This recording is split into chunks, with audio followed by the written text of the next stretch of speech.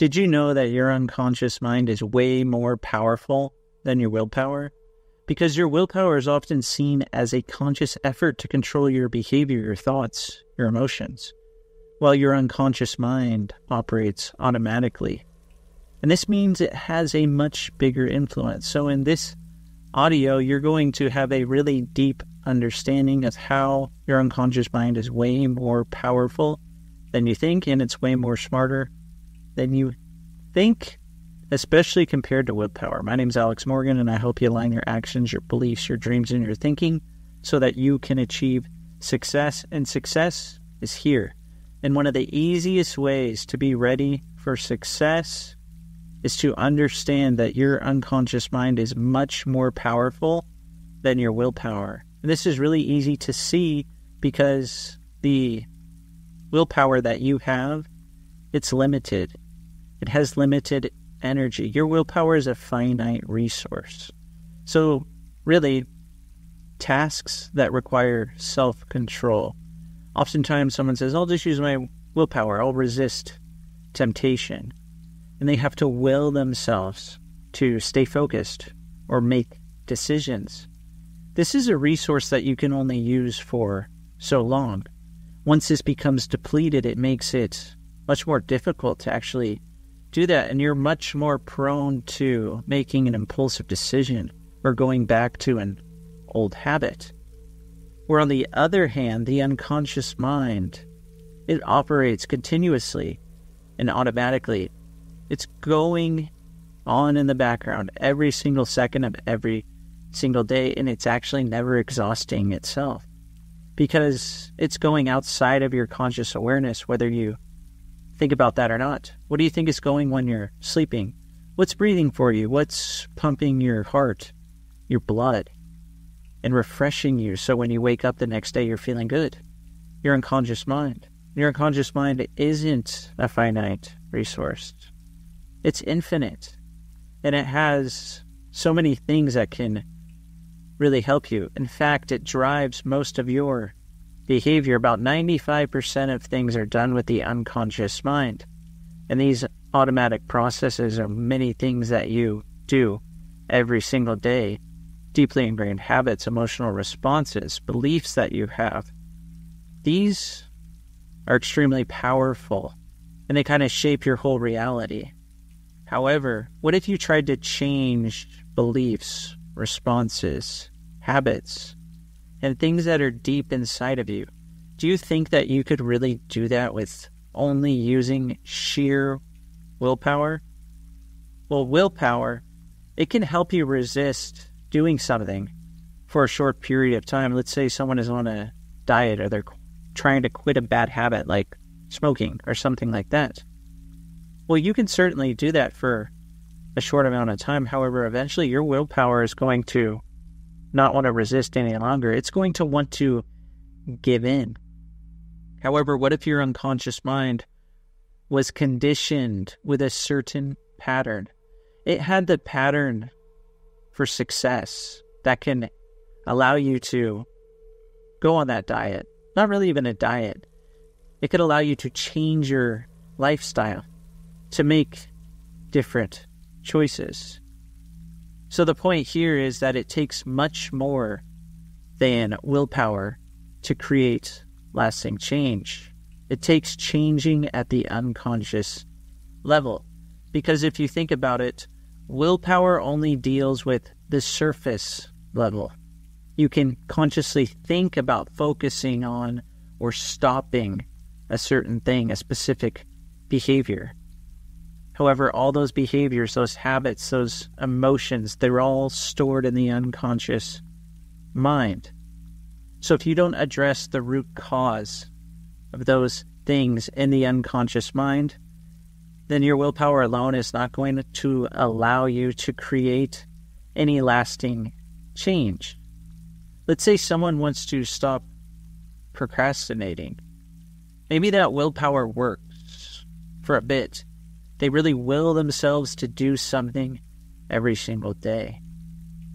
However, if you use the unconscious mind, it's eventually going to override that willpower and take you back to a old habit. However, what if you got to the root cause of why you were procrastinating and you realized why you were procrastinating and you were able to get rid of that reason of why you were procrastinating and instead you could put new reasons of why you should be totally motivated to achieve whatever it is you want and you put all those reasons in your unconscious mind do you think your willpower would care about procrastination anymore no it would be like having a battle of one person up against all these motivated people. Who do you think is going to win the battle? All those motivated people. So imagine putting all that emotion and all that motivation, those good feelings mixed with motivation. That's a strategy for success right there. And that will begin to drive your behavior. Now, the other thing is emotions they're often more powerful than the willpower that you have and that you consciously want to use. And these emotions often override conscious control, especially with negative emotions, things like fear, anxiety, anger, sadness, hurt, guilt. All of those emotions, they throw any rational and logical thinking out the window. And those emotions can even overpower your willpower. So if you have really strong emotions, those can overpower your willpower. So someone may use willpower to suppress those feelings.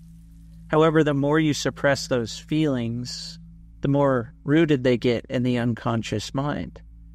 And the more you suppress those feelings, it can lead to other things, maybe like stress, burnout, or behaviors that you do not want. So, what if you can use the unconscious mind to actually get rid of those emotions instead of using your willpower? And that's the wonderful thing is you can because you deserve to. And if you need help getting rid of any negative emotions, reach out to me. All my information will be in the description of the audio, or you can watch other videos that I have that specifically talk about letting go of negative emotions. And I'll put some of these in the description of this audio so that you can easily access them. Now, the willpower that you have, another thing that makes the unconscious mind that much more powerful is the willpower you have is reactive. It often wants to do something for you when you face a challenge, a some sort of temptation, or even an obstacle. So it's reacting to something that's already happening.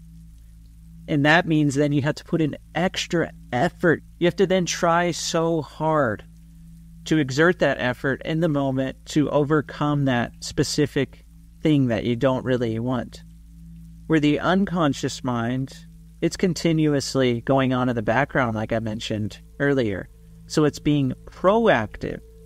And this means that if you are proactive in actually controlling and mastering your unconscious mind, and you're telling it what to do in a way that benefits you, that means you can shape your perceptions, your emotions, your automatic responses, your behaviors, the language that you use, the way you think all in a way that benefits you. So even if something, a challenge, a temptation, an obstacle comes up, even if you consciously resist that through willpower, the unconscious mind still might influence your feelings, thoughts, and future actions without you actually realizing it. So the unconscious mind is that powerful. So if you really want to stop using so much effort and attention and stop being mentally exhausted, then don't use your willpower. Instead, on the other hand, you can use the unconscious mind. It's operating automatically in the background and it's guiding most of the things that you do. In fact, 95% of things you do without using conscious effort. That's why I always say if you put more effort in your unconscious mind, you'll have to put less effort in the physical. If you're putting all your effort in the physical, It's going to lead to probably anxiety, burnout, stress, negative emotions, anything else. So if you rely on willpower, it's going to wear down over time. So if you really want to align with the unconscious mind and create lasting change, then you need to program your mind for success. And some of the easiest ways to do that are listening to the other audios on this channel, watching other videos on this channel, and aligning your mind with what you really want because your mind gives you what you focus on 100% of the time, and your mind is way smarter than you think. And you can also listen to any hypnosis audios that I put on this channel every single Wednesday. Those will help you align your mind and align with your mind. Because if you're listening, I'm sure you want success. So that willpower may help you in the moment. However, the unconscious mind is going to allow you to influence your behaviors, your emotions, your habits, really anything and everything. Everything and anything you can influence with your unconscious mind. So go along with it instead of fighting against it. Kind of like you're doing with that willpower. Thanks so much for listening to this audio. Go ahead and let me know what you think is important about the unconscious mind now that you know it's much more powerful than your willpower. You can comment below with that information. If you haven't already, go ahead and like the audio and subscribe to the channel.